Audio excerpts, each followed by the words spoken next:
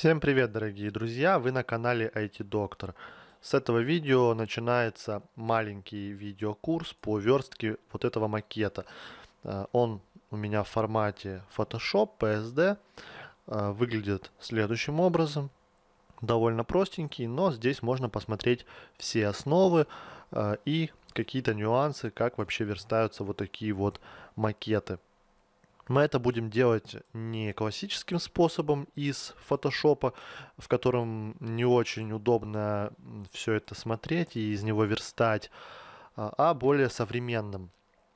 Есть, конечно же, такие вещи, как Avocode, Figma, Adobe XD, но э, я предлагаю использовать следующий вариант. Это сайт Markup Easy, вы мне о нем тоже много раз рассказывали, но я никак до него не доходил. И сейчас я немного протестировал, как здесь все устроено, и мне очень понравилось. Особенно, конечно же, благодарность автору за то, что э, он это разрабатывает э, бесплатно, в основном для себя, но, конечно же, и люди могут пользоваться, и это очень приятно.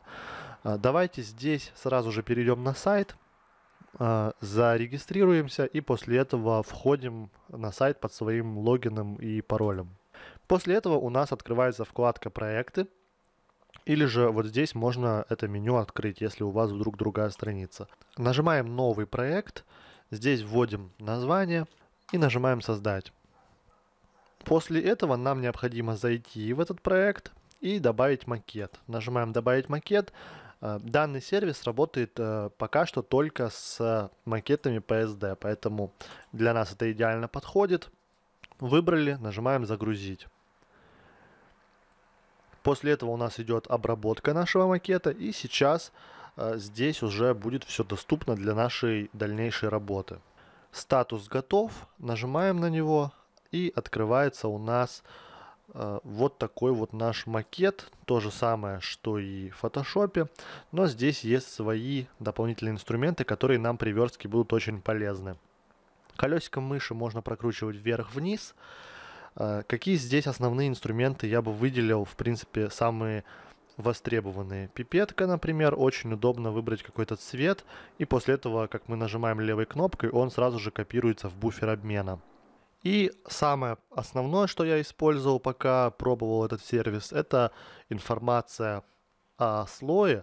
Э, это у нас что-то вроде кода. Когда мы выбираем какой-то текст, например, или любой из этих слоев, у нас здесь в этом разделе появляются CSS-стили, которые в принципе можно сразу же копировать, а они практически здесь не требуют никакой доработки. Как вы видите, здесь сразу указан шрифт, размер, и все следующие параметры, которые относятся к вот этому тексту.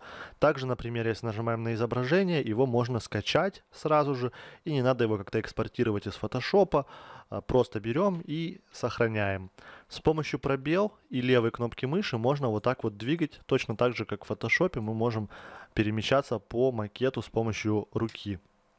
Далее здесь есть вот такая вот вкладка информация, здесь список всех шрифтов, что, конечно же, очень удобно, просто копируете название, ищете и скачиваете его. А, и список всех цветов тоже можно использовать. Если вы используете препроцессор, можно все цвета скопировать и создать переменные. Ну, здесь э, практически все цвета это оттенки серого, мы их будем добавлять по мере необходимости. Также у нас есть возможность включить и отключить направляющие, чтобы посмотреть, например, какая здесь сетка. И есть настройки. В настройках, в принципе, э, я ничего не стал менять, кроме э, плавающих стилей. Я их выключил. Если они включены, как вы видите, при наведении у нас появляется вот это вот окно. В принципе, можно и отсюда копировать, но мне удобнее это делать из вот этого меню. И также важно здесь э, следующее. Когда вы наводите на какой-то вот э, слой, то есть вы его выбрали, вы видите сейчас его размеры. Если мы нажмем Ctrl и где-то в пустоте, то мы видим отступы э, до краев вот этого слоя, на котором мы сейчас стоим, то есть до его родительского. Если мы, например, наведем при зажатом Ctrl на вот этот текст, то вы видите отступы э, до этого текста. То есть вот здесь сверху 4 пикселя э, и по бокам по 5 пикселей, но это в принципе нам не важно. Нам важен только отступ по вертикали в такой ситуации. И также, например, выделяем вот этот текст, Ctrl на кнопку и видим, что 43 пикселя между этими элементами. Это очень удобно, поэтому основные здесь инструменты это Ctrl и наведение, пробел и перетаскивание, и вот это вот окно с кодом, где можно все скопировать. Вот так сейчас мы за 5 минут э, посмотрели этот сервис. В принципе, здесь все интуитивно понятно и просто. Разбираемся за считанные минуты, и мы уже готовы к верстке. А в фотошопе, например, если вы с ним не знакомы, то э, нужно дополнительное какое-то изучение инструментов, что где найти. Э, конечно же, там не очень удобно это делать. И он, конечно, не был для этого рассчитан, поэтому не стоит слишком сильно на Photoshop в этом плане гнать, как бы нужно использовать все инструменты для тех задач, для которых они рассчитаны.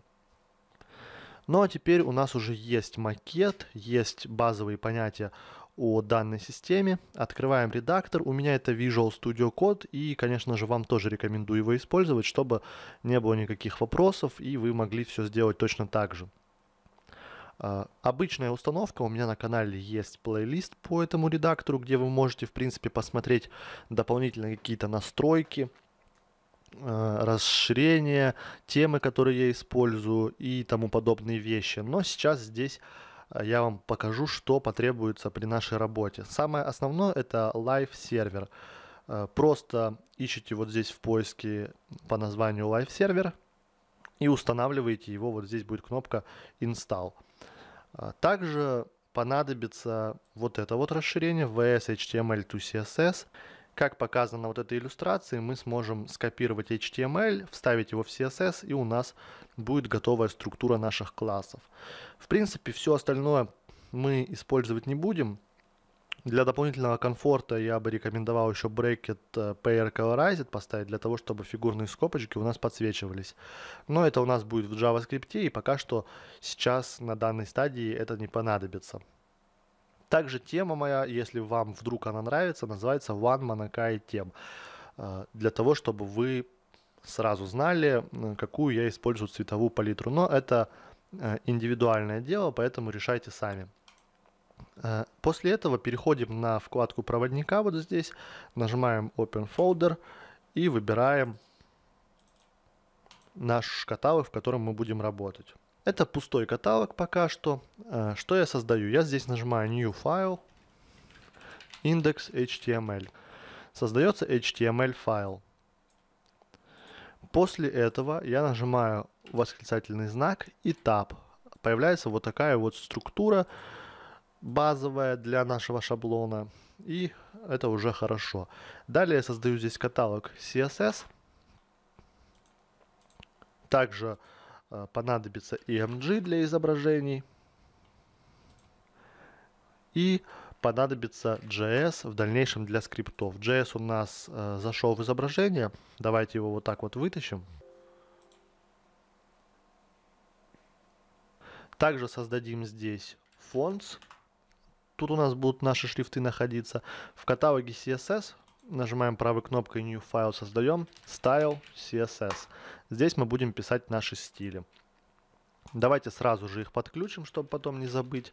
Пишем link tab и вот здесь вот указываем наш путь к нашему файлу. Выбрали, все отлично у нас. Теперь давайте сразу же подключим наши шрифты.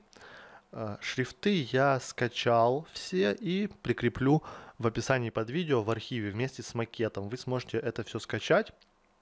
Но э, в том случае, если у вас, например, какой-то другой макет, и вы хотите найти шрифты, э, я показывал способ, как это сделать в фотошопе с помощью дополнительного скрипта. И вот здесь, в этом сервисе, тоже есть такая возможность. Можете эти шрифты вычислить и скачать. После этого у нас есть вот такой вот каталог со шрифтами. Вот они все здесь находятся. И нам нужно сделать следующее. Нам нужно все эти шрифты подключить. Давайте я их отсюда сейчас вырежу и вставлю вот сюда в папку Fonts. В редакторе мы сразу видим, что вот они у нас шрифты появились. Теперь нам нужно их подключить файле style CSS. Переходим сюда и делаем следующее. Нам нужно скопировать э, конструкцию font face. Э, заходим на любой сайт, который находите, самый первый, и берем вот отсюда следующую конструкцию. Давайте даже возьмем вот так целиком весь этот код, и сейчас я покажу вам, что нам потребуется. Вставляем сюда и делаем следующие манипуляции. Здесь нам нужно э, указать э, формат, который у нас используется э, в шрифте и его название. Я выбираю переименовать, копирую, вставляю вот сюда его название. И нужно указать путь к этому шрифту.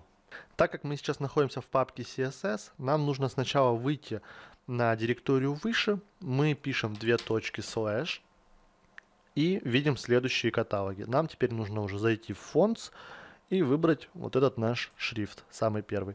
Путь мы к нему прописали. Формат мы пишем OTF, так как у него э, такое расширение. И все вот это мы удаляем, оставляем здесь только точку запятой в конце.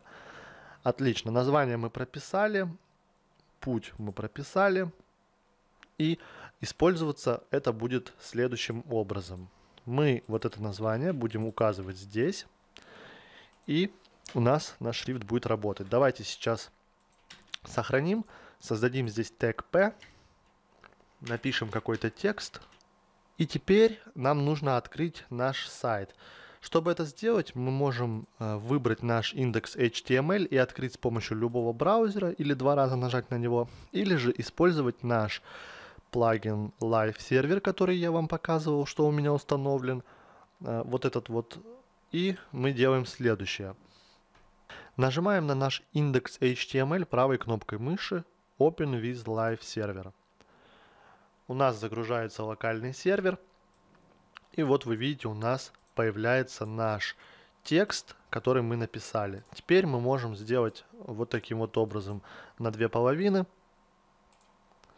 Здесь пока что все свернуть и э, посмотреть, что у нас произойдет. Если мы, например, вот этот код уберем, я его комментирую с помощью Ctrl. Точка. Вы видите, стандартный шрифт у нас такой. Открываем обратно, и у нас шрифт действительно меняется. То есть наша конструкция работает. И также важно, что Live сервер, как вы видите, сам обновляет страницу. То есть если я здесь напишу сейчас какой-то текст, и просто сохраню страницу, у меня здесь все автоматически обновляется, и я сразу же вижу результат. Для этого мы его и установили. Теперь мы сделаем следующее. Мы скопируем все это и подключим все остальные наши шрифты.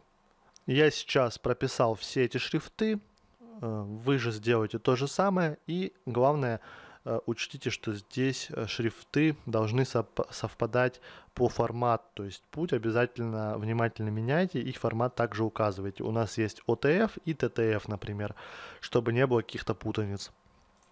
Далее я добавил вот такой код в комментарий, он нам понадобится, чтобы при необходимости его отсюда копировать и указывать нужный шрифт для нужного текста. И сейчас, в принципе, можно убедиться в том, что у нас все действительно работает. Я написал вот такую вот конструкцию сейчас просто для проверки и подключил все эти шрифты для разного текста. Это обычные заголовки, здесь суть именно в том, чтобы проверить через инструменты разработчика, которые открываются через F12. Мы можем э, пробежаться по всем вот этим нашим элементам и видим, что шрифт наш э, вроде как применился. С виду, конечно же, он довольно похож друг на друга, но если мы посмотрим на макет, то тоже э, видно, что шрифт э, очень похожий. Там уже дальше на ситуации будем смотреть. Если вдруг у нас что-то действительно некорректно подключилось, то будем исправлять. А сейчас же пока на этой стадии все выглядит правильным. Поэтому мы закрываем вот эти лишние страницы. Здесь убираем лишний код. Оставляем вот эти комментарии для подсказки, для того, чтобы потом копировать себе. И в HTML тоже нужно удалить весь лишний вот этот вот код. Также я здесь нажимаю Alt-Z, чтобы у меня переносился код на новую строку. Теперь можно считать, что наши подготовления завершены, и мы готовы полностью к верстке. Шрифты у нас подключены, остается брать макет и делать. Этим мы займемся в следующем видео. А пока подписывайтесь, оценивайте видео, комментируйте и до скорых встреч!